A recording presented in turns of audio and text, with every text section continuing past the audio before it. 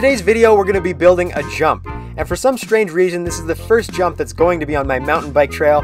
I have multiple skinnies as well as a drop, but like I said, no jump, so I thought it's about time I finally build one. And like almost everybody, when building something, the first thing their mind goes to is materials. And luckily enough for me, earlier in the summer, we'd actually got some wood from our local dump, which is technically illegal, but hey, one man's trash is another man's treasure, so I think in this scenario, we're pretty justified in taking the wood. And as you can probably tell, this is actually some great wood. It's mostly treated. Only negative was I think it was cut off from the side of a deck, so I'd had to split it and take out some pretty annoying screws, but it's all worth it because this is a lot of wood for free. But after the slightly monotonous process of actually building the takeoff, we cut our pounding post and head out to where we would actually be building the jump.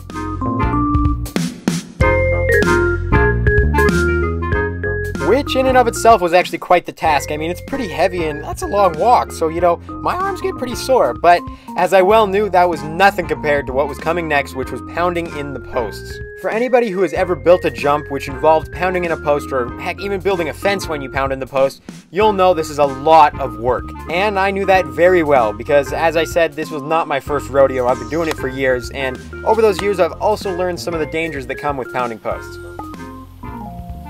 Whoa! And since this jump was going to be pretty tall, we thought we should pound the post in quite a ways to make it very stable.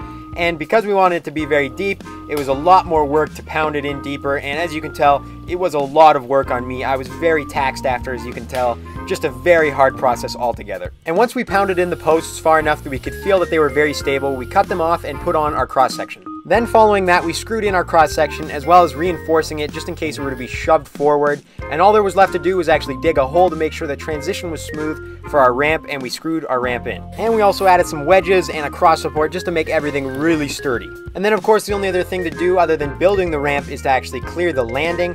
And that's fairly easy. You go down with your weed whacker, cut it all off, grab all the shrubs and throw it off, rake it a few times, and you're good to go. And with that, we were left with a three and a half foot, really nice looking takeoff.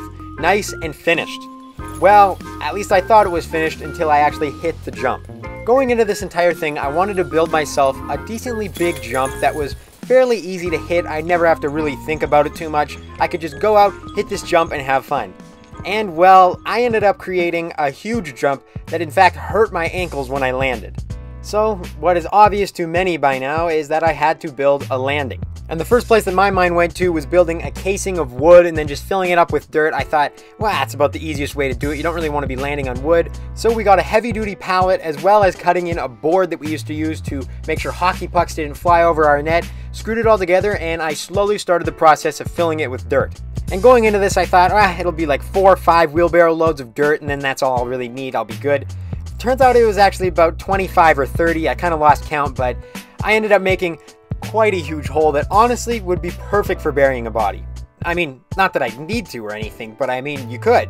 Anyway, what I basically did on repeat about 30 times was go to my hole, which I forgot to mention is in the middle of my trail. I don't really know why I put it in the middle of my trail. I just kind of started digging and went with it. So now I've got a big hole. Anyway, I'd fill up my wheelbarrow with as much dirt as I could, then I'd walk down my trail and pour it back onto my jump. And then from there, I'd distribute the dirt as best I could all across the landing, look for any real low spots and put it on there, and keep building up layer after layer and pounding it down and making sure it was really nice and compact. And then I just kept adding more and more loads until it looked like enough, and then I finally hit it with my bike. And of course, I almost landed over top of my entire landing, which both shows that I built the landing too close for that big of a jump, and also I just added more dirt, but I ultimately just had to learn to hit it with a lot less speed, which is okay because what I wanted was an easy jump, and that's exactly what this jump is. So at the end of it all, I came out with a really nice gap jump that is admittedly extremely easy, but that's originally what I set out to do. I wanted an easy jump that I'd always hit, and that's exactly what I got. You're good. Go for it, Rex. You got her. There you go.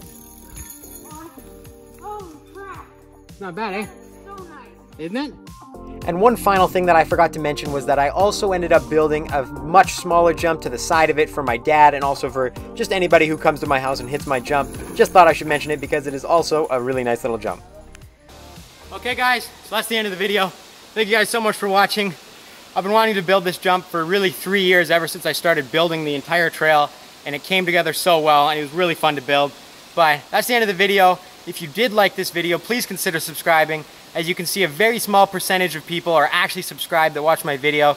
So all you have to do is click right down there to subscribe. But that's the end of the video, and I will see you guys in the next one.